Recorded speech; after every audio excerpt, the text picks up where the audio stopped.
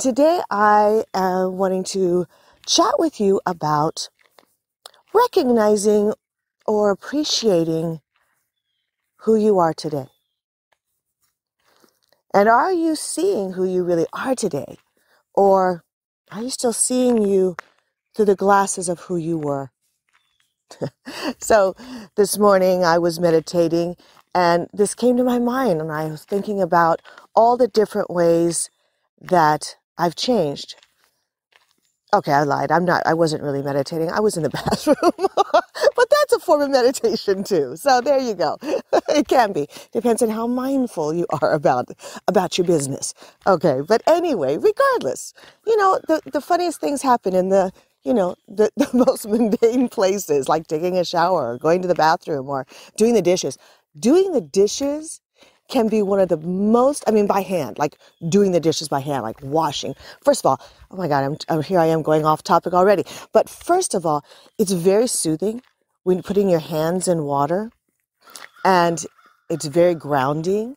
And also also just the chore of doing dishes is very grounding. But also nobody ever wants to bother you when you're in the kitchen doing dishes. So when you do the dishes you have all the time in the world to think and to contemplate life and the world and and uh and just you know be alone. so sometimes doing the dishes, so many different ideas can come up. So, you know, the shower, doing the dishes, going to the bathroom, all great ways, all great times for the most, you know, interesting things uh, to consider in your life, right? Anyway, or about life. So, anyway, as I was in my bathroom meditations, um, this thought came to mind is about change and and recognizing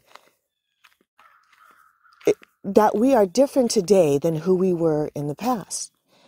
Now I know it's true there are a lot of people that don't change. I mean, I I meet people a lot, actually even in my own family. I had an older brother who had severe depression and I'm um, you know, again, I'm not a big diagnosis person, but for the ease and simplicity of conversation, using a quote unquote diagnosis like depression or this or that or the other, um, as far as a medical term, okay, of depression, I don't like, I don't, I use those terms as just a means of, of communicating the thought and the idea, because that way we all have common language, right?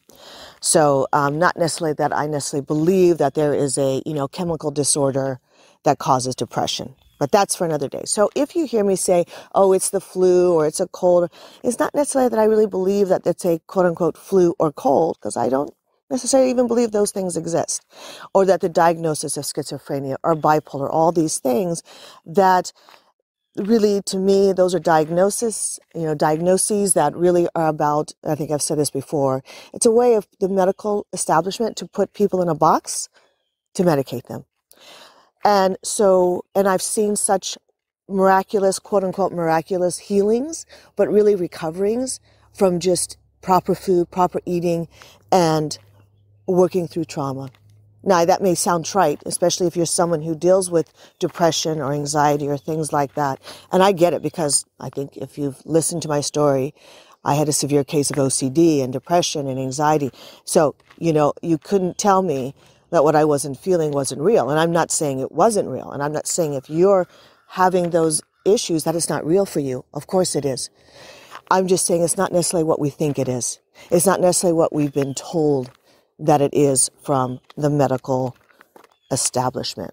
Okay, so going back to my brother. So he was depressed for most of his life for various reasons that I can look back on and became an alcoholic and actually died of alcohol poisoning.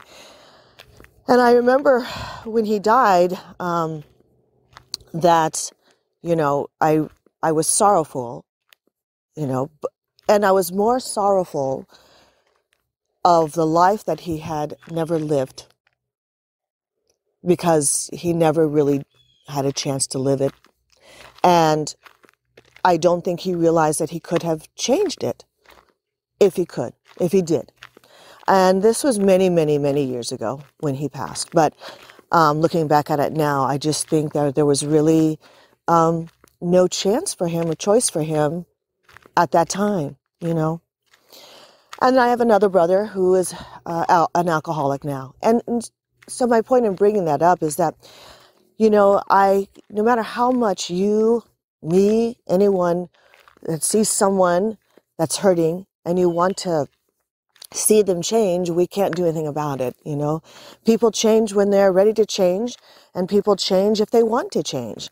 And you're, it's true, there are some people that either don't want to change, they don't see how they can change, they've lost hope, and there's not a lot you can do, because I know I tried, with people who don't really, who aren't ready to change or who don't want to and it doesn't have to be anything even as as extreme as being dying of you know alcohol poisoning or or being an alcoholic. It could be just a change in their thinking about who, about themselves you know and and and following into patterns and habits. And and you see it. You can see it because you're standing on the outside and you're seeing like oh why can't you just change this? You know i can help you. But you can't. Not not until and unless they're ready. However I do believe that there are many people, and I see them in my practice all the time, who do want to change, who do see that they don't want to live the kind of life they've lived, or do see that they don't want to have the same regrets in the future that they have from the past by making the same kind of decisions, right? People want to change, and people can change, and people have. So that's why all this was coming to my mind. And I was thinking, but do we even recognize and appreciate the changes that we make. And I was thinking about my own life and the different changes that I have made. So I'll give you some examples. So when we were considering moving, my husband brought up Florida.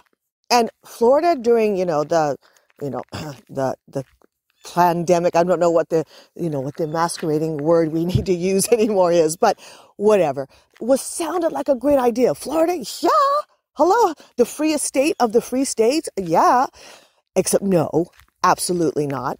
My dad had lived in Florida for a few years uh, with work, and I would visit him in the summers. And I just remember Florida, not only is it hot and humid and too sticky for me, but what really I didn't like is like the, the lizards, like they'd get into your house. And and the frogs, I don't know. It just seemed like at dusk. I just this is how I remember it. Maybe I'm wrong. If you're from Florida, let me know.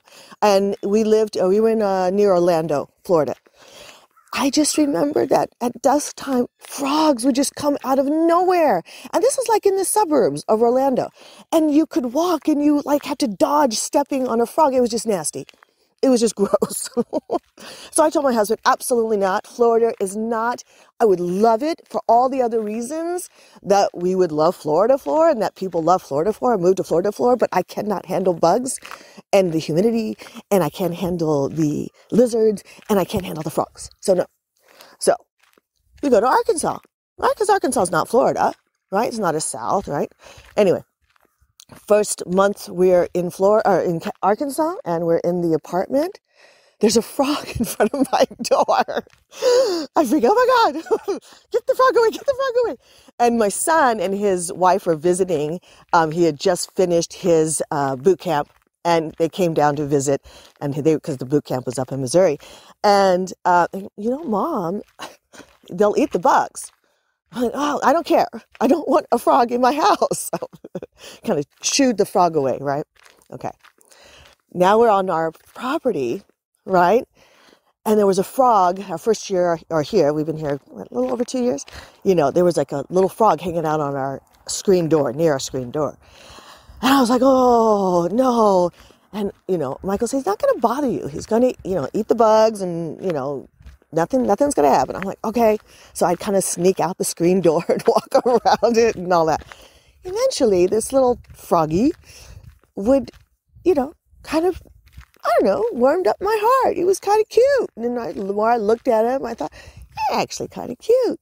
And then we, since then, have gotten frogs in our garage. Uh, they would come and and sit in the puddle, like you know when you have your car and the air conditioning runs, and after you park it, then water drips on the on the um, ground. And they'd come and sit in the pond. There was like three of them, little frogs, little tiny little things. Okay, so now I look at the frogs and go, "Aren't you cute? You're just a little jumper, aren't you?" and now I'm like making friends with the frogs. Who knew that I would make friends with frogs, right? Okay. But I did. Now I like the frogs and I love hearing them and I see them and they jump. I don't know, they haven't jumped on me and I'm not sure how I feel about that, but they jump near me and I'm good with it. I'm good. So that was one huge change for me. You know, another change was cooking.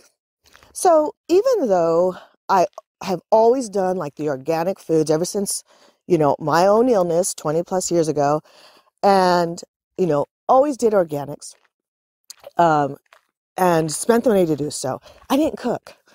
I didn't cook. You know, I I tried to eat things that didn't need cooking, need prepar- preparation. And then the kids, I gave them a lot of, I did, I, I feel I said it here now, but you do what you do because that's all you know. Um, you know, packaged foods. And so, like, but you know, organic packaged foods, right? Which we know better now, but you know, this is 20 plus years ago, right? So it was like Amy's beef and macar- macaroni and beef, what the kids loved, or Amy's ravioli, or, you know, or a lot of times it would be fruit and um, meat, like uh, organic lunch meat, um, or, uh, or cheese, or cheese sticks, organic cheese sticks, and an apple, right? it was a big thing cheese stick and an apple. Eat your cheese stick and an apple. But anyway, so, but I didn't cook. And I look back on it and, you know, I always say, oh, I don't cook. I don't like to cook. That was always my excuse. But really, the truth is, I was afraid of cooking.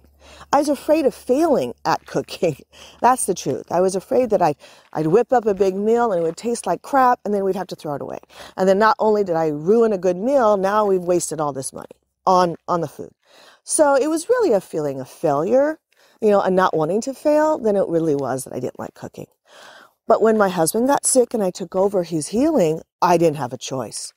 And we moved into the, the GAPS diet, uh, which is all cooking. I mean, you just, there's no processed food. There's no, there's nothing. You got to cook.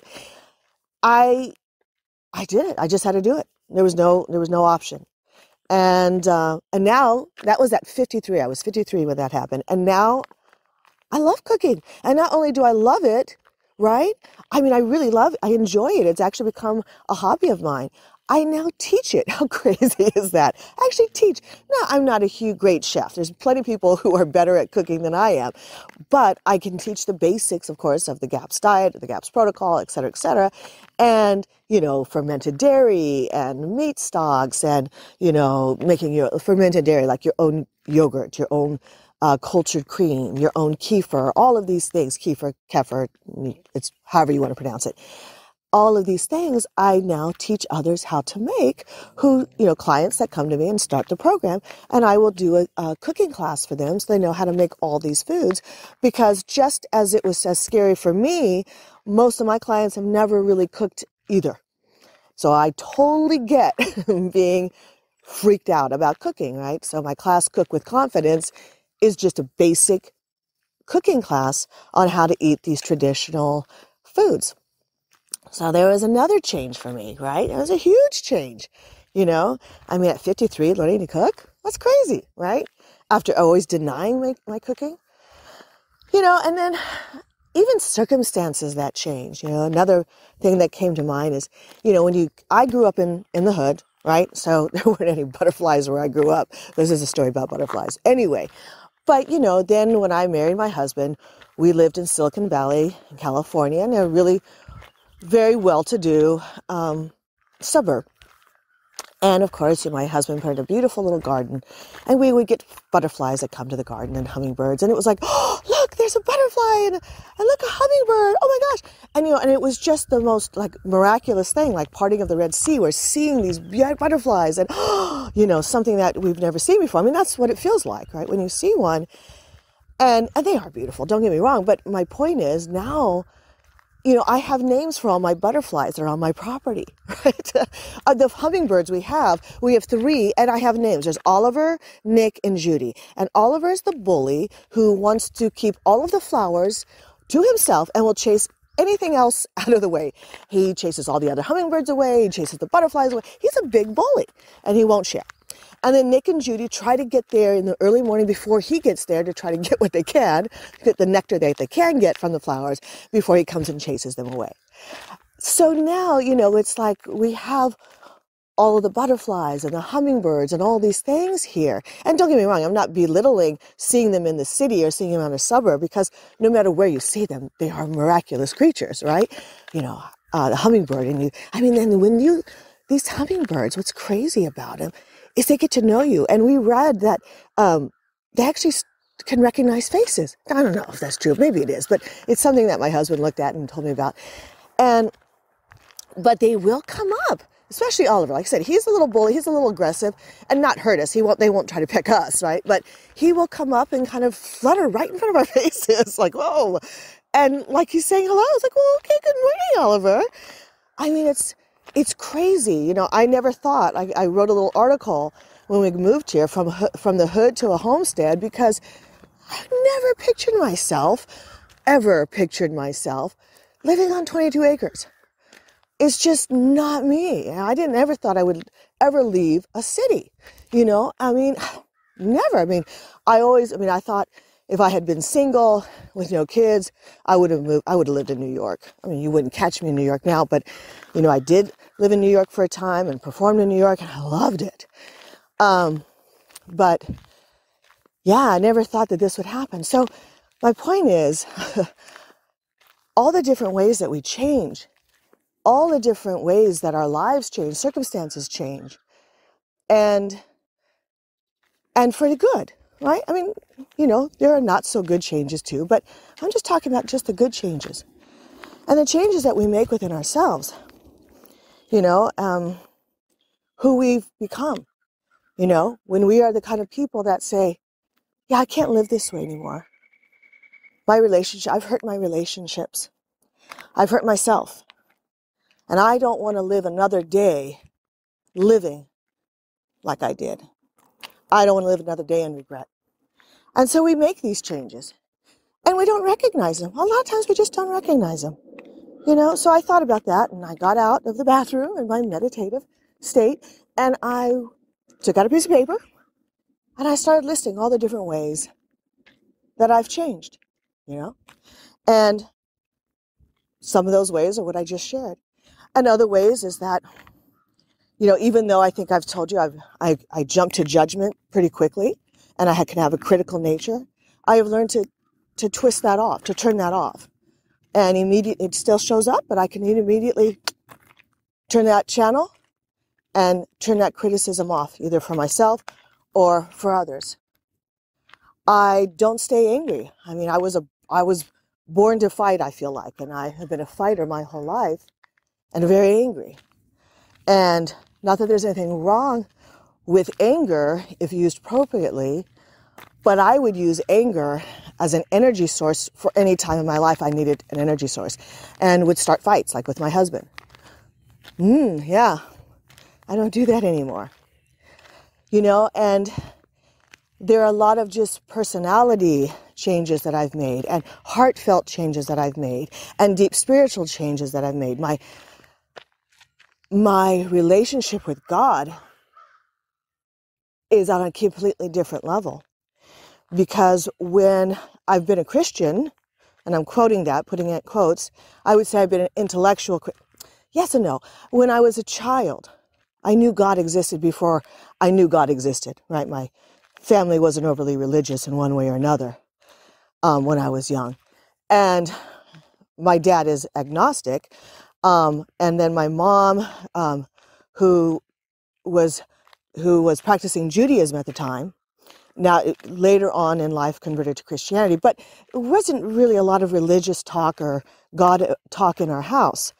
But yet I knew something was there. I just knew it was just something in in me that just knew that that God existed, even though I didn't have a name for it necessarily.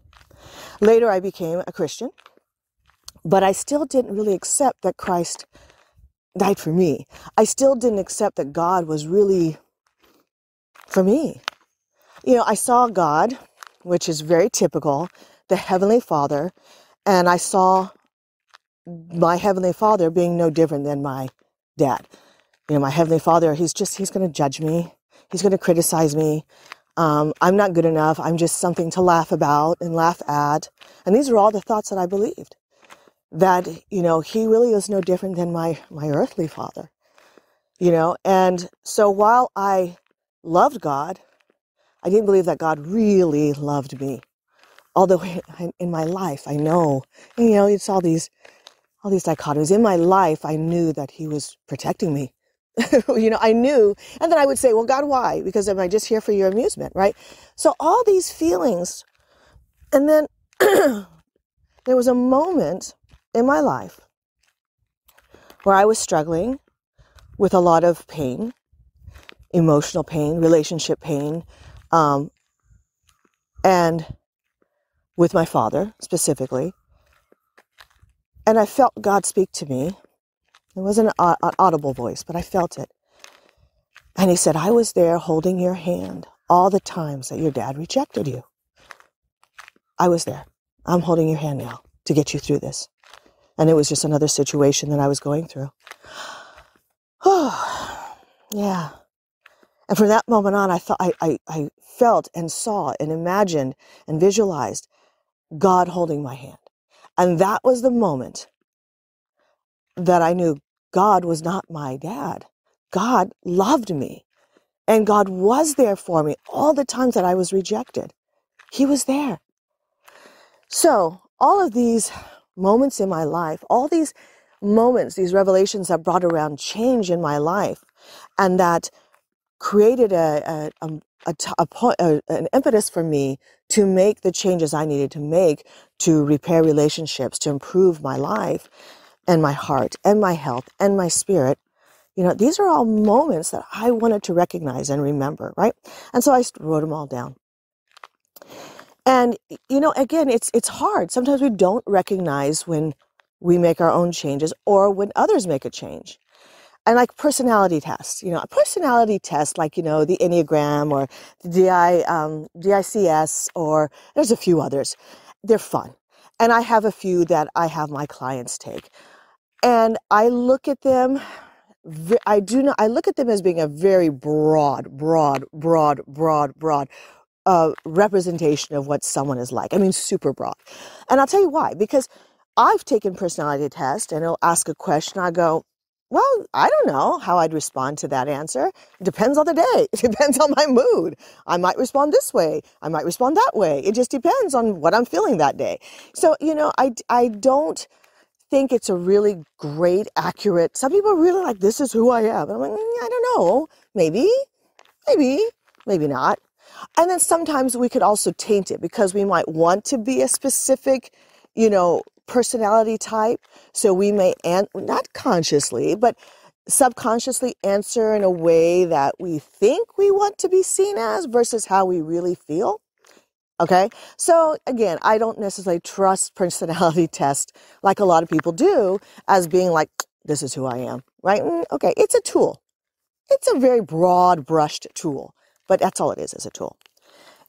And another way that personal, personality tests can fail, and I can tell you this from my own experience, is I will take a personality test. And again, I do it because they're fun to do. Come on, they are. but I will do it and I will answer from the point of view of who I was, not who I am now. And I remember recognizing that. I'm like, I'm answering this not the way I would do it now, but how I've done it for so long in my life. Huh. Wow. You know, and I, I was seeing all the, because I've, you know, taken personality tests in the past and then taking them now. And I was just used to kind of answering them in the same personality type. But the truth is, that's not who I am anymore. You know, I mean, there are some things in me that I'm, I mean, I am always going to be a fighter. I really believe that. And I'm okay with that now because God had spoken to me and said, hey, your anger is not bad and your fight is not bad. It's just, it's just misplaced. You're just focusing it in the wrong place. okay. Okay. Because I would say, God, stop. I don't know why I'm such an angry person. I don't know why I'm such an angry person. Right. I do hash it out with God, let me tell you. And I just remember feeling, hearing, saying, however, however I heard him, your anger is not the problem. It's where you're placing your anger. That's the problem. Where you're placing it isn't who deserves it, and it's or where I need you to put it to make a change. and I, you know, whether it was my husband or, or whatever. And uh, I was, but the anger itself is not a problem. And and my fight, my fighting spirit is not a problem. But choose who and what it is that you're fighting, and don't fight your friends, right? Be a fighter, but just be careful who you who you are fighting, because you could be fighting someone who's not the enemy or something that's not the enemy. Okay, so anyway, so I sat down and I made a list. And I started to think about all the different ways that I have changed. And I started to celebrate. Wow, my gosh. And even at in my 50s, how I've changed, you know? And every day is a day of growth and a day of learning if you if you, you know, let it be. And the reason why it's really important to recognize our changes is when we celebrate how we've been we've changed. We recognize it and we like celebrate that and give thanks for that. Then we are more open to recognizing how somebody else has changed. Because if we are still looking at others in the same way we saw them in the past, but they're not that way, we're really impeding the opportunity for healing and reconciliation.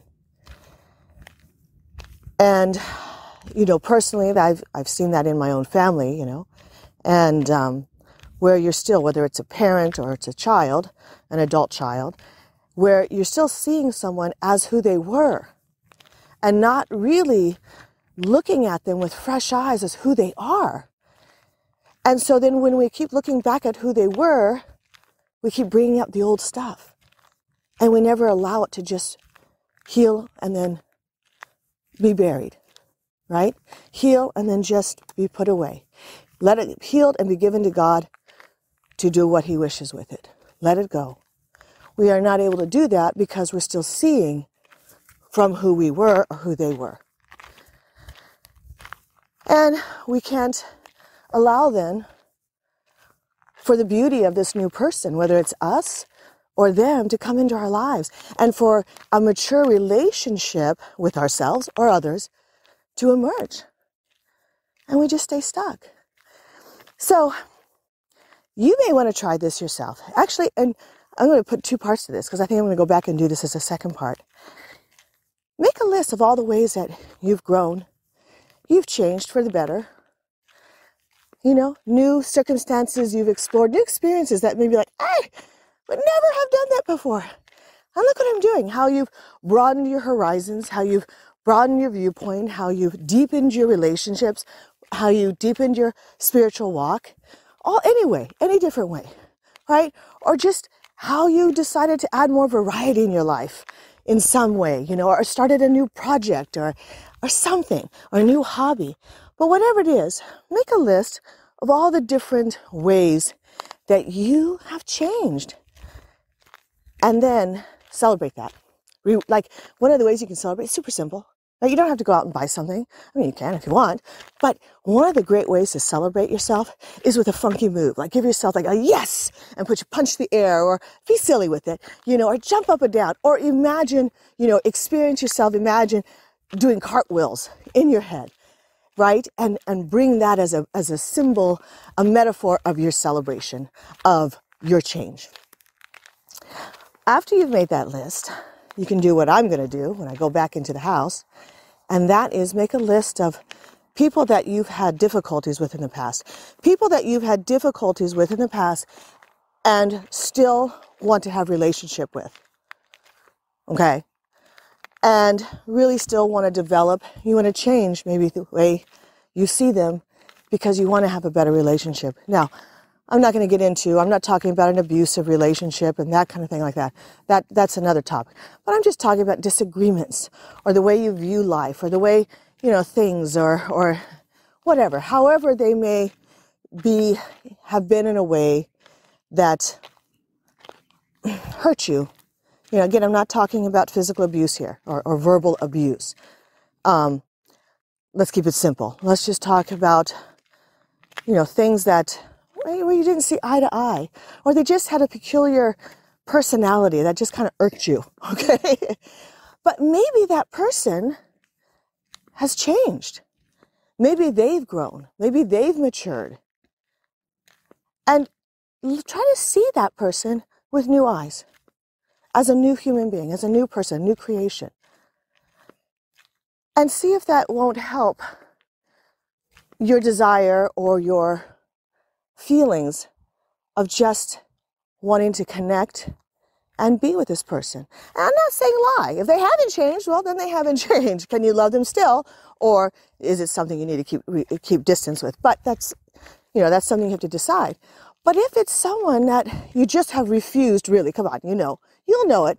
You really refuse to look at them in a, in a different way, even though, and, and maybe even feel a little guilty about it, who knows. But at least maybe there's part of you that goes, yeah, but I still want to be angry, right? Okay, so, you know, that could be that, right? You want to hold on being right.